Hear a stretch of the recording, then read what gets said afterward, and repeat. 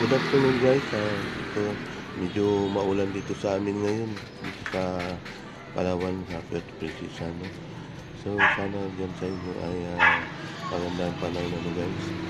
So dito din naman ako ngayon sa aming uh, munting uh, business guys. Sa aming uh, uh, pwesto dito sa sari-sari store at kay uh, chef guys.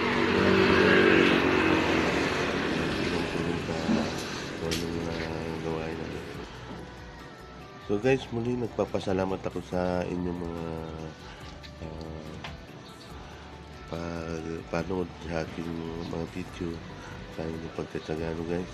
Maraming salamat po sa inyo. At uh, magandang hapon sa lahat.